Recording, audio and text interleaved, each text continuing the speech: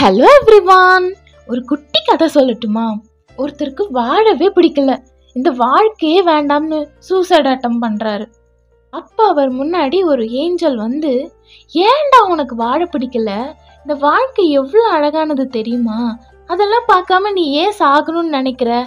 வா உன்னை ஒரு இடத்த கூட்டிட்டு போறேன்னு ஒரு பெரிய பிரிட்ஜு கிட்ட கூட்டிட்டு போனாரு. இந்த பிரிட்ஜு மாதிரி தானே உன் கஷ்டமும் பெருசா இருக்குன்னு நினைக்கிற? வா உன்னை ஒரு அழகான இடத்துக்கு கூட்டிட்டு போறேன்னு சொல்லி ஈஃபில் டவருக்கு கூட்டிட்டு போறாரு. இதை சுத்தி பாரு எவ்வளோ அழகா இருக்குன்னு.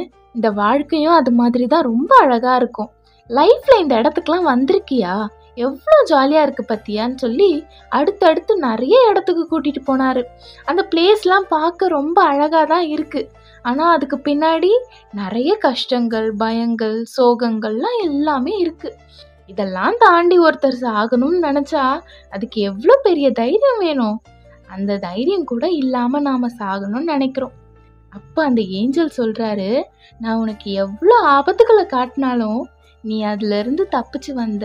அப்புறம் ஏன் இந்த தப்பு பண்ணிட்டு இருக்க இந்த வாழ்க்கையை வாழ கற்றுக்கோ இந்த லைஃப் எல்லாமே நிரந்தரம் கிடையாது.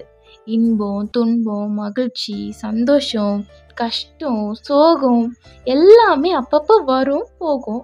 இதுக்கெல்லாம் சாகணும்னு நினச்சா நாமெல்லாம் எப்பயோ செத்து போயிருக்கணும்னு சொல்கிறாரு இதுலேருந்து நமக்கு என்ன தெரிய வருதுன்னா எந்த ப்ராப்ளம் வந்தாலும் ஃபேஸ் பண்ண கற்றுக்கணும் வாழ்க்கையை வாழ கற்றுக்கணும் லைஃப்பை வேஸ்ட் பண்ணிடக்கூடாது. வேதத்தில் சொல்லியிருக்கு மனுஷன் உலகம் முழுவதையும் ஆதாயப்படுத்தி கொண்டாலும் தன் ஜீவனை நஷ்டப்படுத்தினால் அவனுக்கு லாபம் என்ன? ஸோ நம்ம லைஃப்பை வேஸ்ட் பண்ணாமல் கலர்ஃபுல்லாக பியூட்டிஃபுல்லாக மாற்றுவோம் கம் லெட் ஷைன் டுகெதர்